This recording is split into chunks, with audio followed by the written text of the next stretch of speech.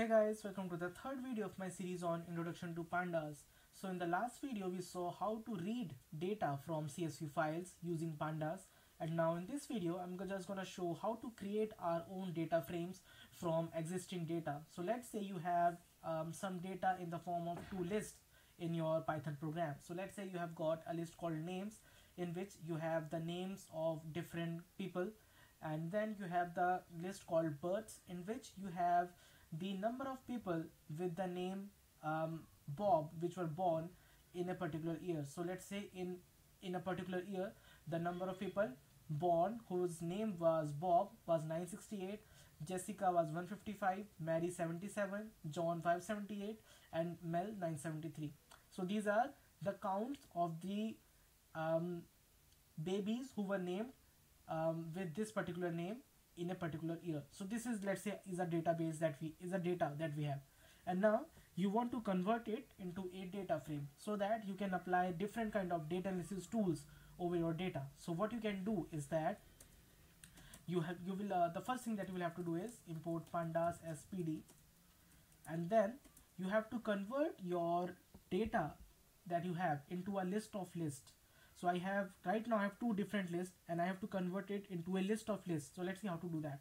So first of all you will have to use the zip function in which you will have to pass all the um, individual lists that you want to have as your columns in your table. So I'm just putting names and births here. And then if you just typecast it with a list then we get the data like this. So right now I have a tuple uh, I have a list of tuples in which each tuple will be representing each row of my table in the data frame that I'm gonna create. So each tuple represents a row for me, right? So now this is the data that I want and now I'm gonna convert it into a data frame and how to do that? All you have to do is you have to you create an object of the data frame class. So pd.dataframe in which you have to pass the data. So let me call this thing as data. So now data is my data and then columns so you can just pass columns equal to any kind of list. So let me call it name and birth as the column names for my data frame. And yeah that's it. Once you have done that I will call it df df equal to pd.data frame. And now let us see df so look at that. We have created a data frame out of some python lists. So right now we have a data frame which contains these columns and the index values are the default index values which is 0 1 2 3 4 and then we have name and we have births. If you want to have a different index then you can specify that as well by passing index equal to a new list. So let's say you want to have index as a b c d e. So you can simply do a b c um, d and e. So now let us see what happens. Look at that. The index is now a b c d e like this. And you have got names and you have got births right so in this way, you can create a new data frame.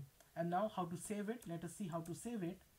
So if you want to save a data frame, all you have to do is you have to do df dot to underscore csv in which you have to pass the path of the file in which you want to save your data frame. So let's say I want to save it as data slash babies dot csv. So this is the path. And also one thing to notice here is that um, I can put index equal to false so what will that mean is that these values 0, 1, 2, 3, 4 will not be saved in my CSV file. And I think that is what I need because this is a default value. Then why should I keep it in my CSV file, right? So I can just specify index equal to false if I do not want to keep 0, 1, 2, 3, 4 as a part of my um, CSV file. So if I just run it and if I just try to check my database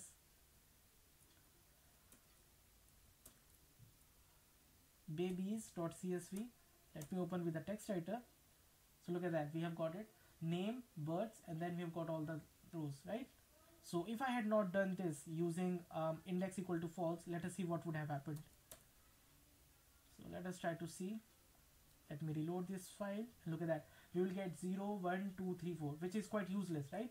So in order to avoid that it is good that you just put index equal to false and then you get the raw data, the actual data that you need to be stored in your CSV file. So yeah, so this is all about um, how to create a data frame, how to save it, and I hope the concept is clear. If you still in doubt, you can put them in the comment section below. That's it from this video. Thanks for watching.